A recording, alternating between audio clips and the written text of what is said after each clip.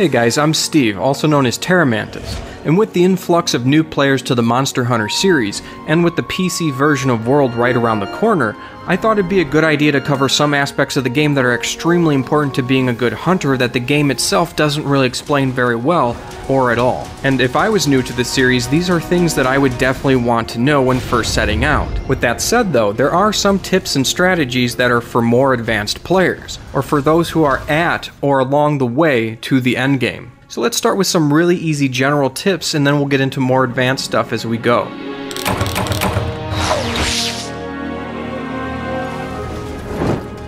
To start is something that I see even advanced players not utilizing to their advantage more than anything else, which is environmental traps. These are aspects of the natural environment that can be used to damage or restrain monsters, and in some cases both. These various environmental hazards, from paralytic toads and flash flies, to the real star, vine traps and collapsible pillars. Not only do many of these hazards damage the monsters themselves, but they also allow your team to do uninterrupted damage for a short time, providing easy access to strike breakable monster parts with your weapon's strongest attacks. So to say these traps are important is an understatement. But nowhere are they more important than with Elder Dragons. There are a few Elder Dragons that enter rooms with various collapsible pillars, and this is a great way to do thousands of damage and knock down some of the toughest monsters with relative ease.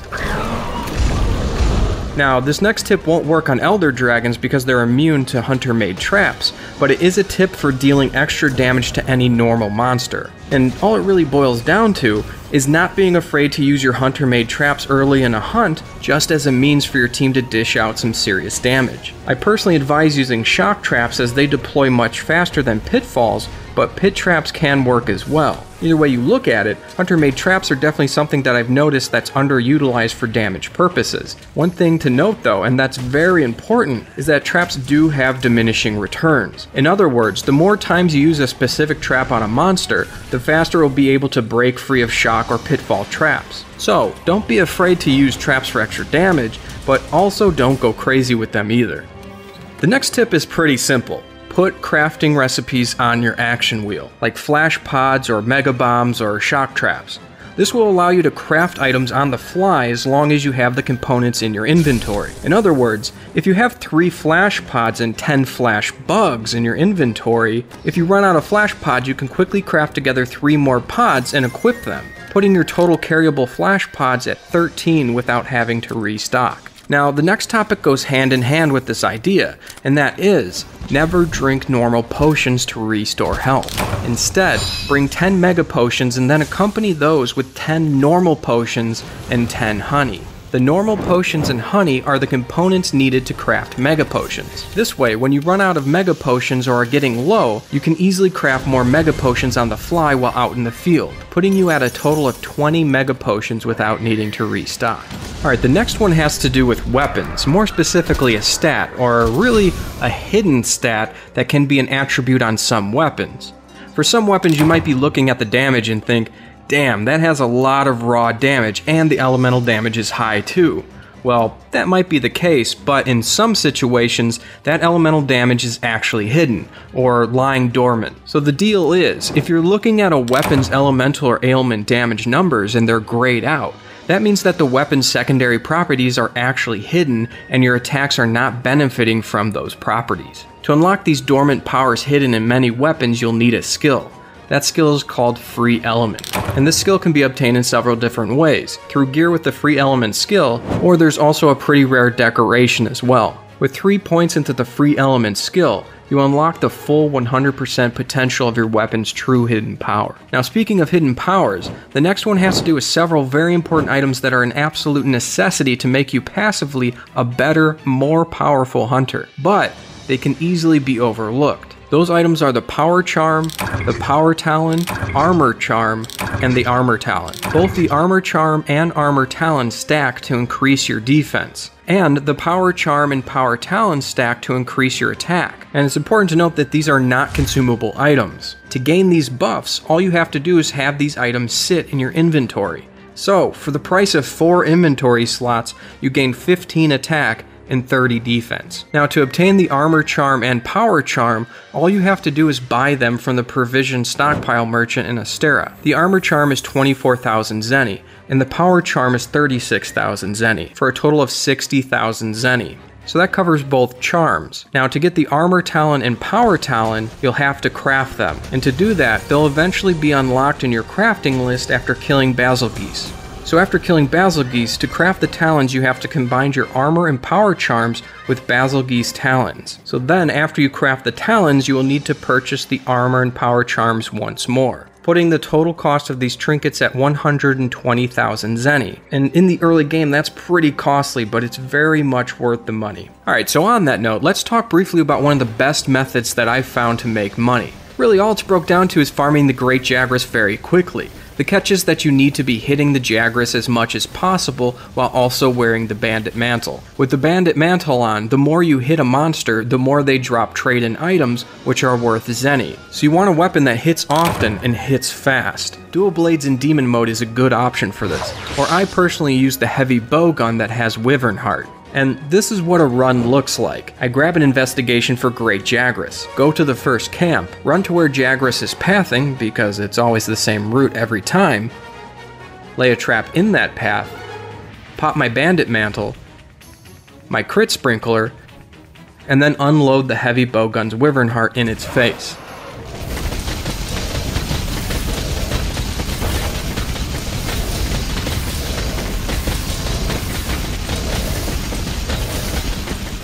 Then, if it lives through the Wyvern Heart with all close range modifiers in the bowgun, start firing Spread Shot. After this, there's a lot of shinies to pick up from the Bandit Mantle procking, and these drops is where the real money is at. So, after looting all the trade-in items, just either kill or capture the Jagras and you're all done. At the final hunt screen, I grab the armor spheres and usually just sell the rest for around 15 to 20,000 zenny per run. And like I said before, that's not including the trade-in items. Depending on the number of drops, it's safe to say that you'll earn anywhere from 35,000 to 55,000 zenny with this method every 5 minutes or less. Now to speed up that farming process, it's a good idea to save various loadouts. You can do this for both equipment loadouts as well as inventory item loadouts. This is great for instantly swapping gear, decorations, charms, and consumable items to suit a specific hunt you're about to embark upon. For instance, like I mentioned earlier, Elder Dragons are immune to shock and pitfall traps, so there's really no reason to bring traps on Elder Dragon runs. It's nice to simply click a button on a saved loadout to change your gear or item so easily and quickly. Definitely set these up. The next tip is simple but critical and that is to come to a hunt prepared. By now you should have your loadouts all set up. You should have crafting components on your radial menu to be able to craft on the fly. And you should have your armor and power charm along with your armor and power talon, all to make you a better, more effective hunter, but that's not enough. It's important to buff your character at the start of a hunt.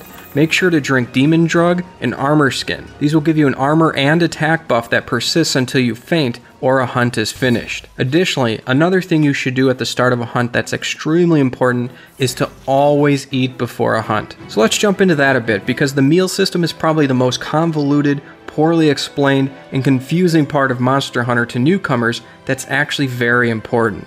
So let's talk about the canteen ingredients, food buffs, and food skills. So to start, let's discuss the ingredient types and ignore everything else for a moment. Okay, so there's four different kinds of ingredients. Meat, fish, veggies, and alcohol.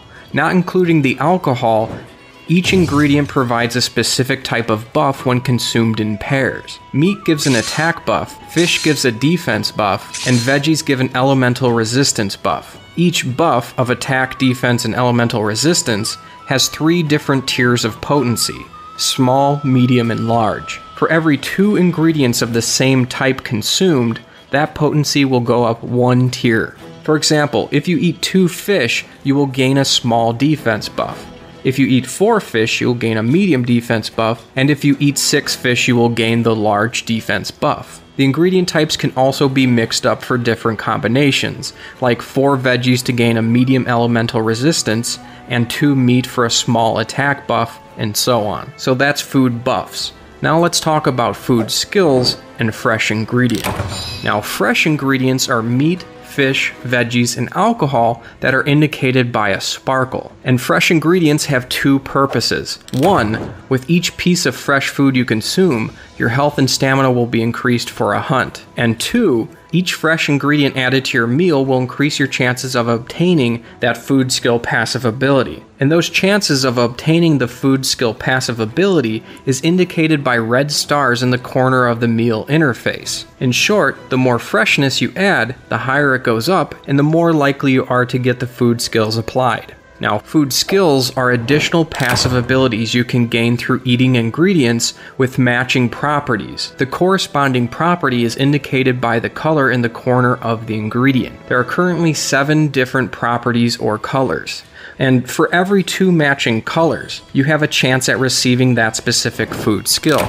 For example, if you have two reds of any meat, fish, or veggies, you will have a chance at receiving the Tier 1 Courage buff of Feline Polisher, which often speeds up the sharpening of your weapon. If you have four reds, you'd have a chance at the Tier 2 Courage food skill, and if you had six reds, you'd have a chance at the highest Tier 3 Courage food skill. Now, just like with the meat, fish, and veggie buffs before, you can mix these ingredients. For example, you could have four of the light yellow food properties to have a chance at the Tier 2 Artillery food skill, and two blues to have a chance at the Tier 1 Resilience food skill. The catch is, you need to have fresh ingredients to have a good chance at getting the food skills you want. And the food skills that you want might not always necessarily be the food that's fresh. That is, of course, unless you use a meal voucher to order your food. When using a meal voucher, you're guaranteed to receive all the corresponding food skills.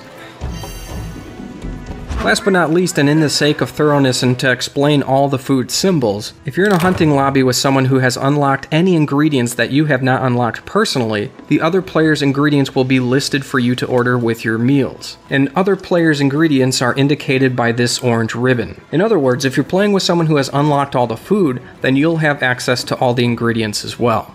Alright, that was a long one. Don't worry, the next one is short and sweet. Let's discuss Monster Mounting 101.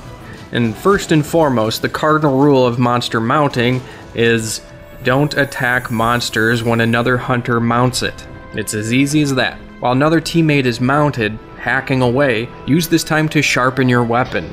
Buff yourself or teammates, eat a ration, whatever. Just don't attack a monster when another hunter is mounted. Instead, prepare yourself, follow it around, and then get ready to do damage after it topples over. Alright, the next one is a quick tip for people still going through the story mode or trying to complete a special investigation of Monster Hunter World. And special investigations are basically quests to track down a random unknown monster. Well, to help speed up this task, make sure you have the skill Scholar. Scholar is an important skill because it has the ability to speed up progress on research levels and special investigations, meaning you'll get these quests done much faster. And one of the easiest ways to get this skill is by crafting the Hunter's Headgear Alpha piece. Alright, moving on.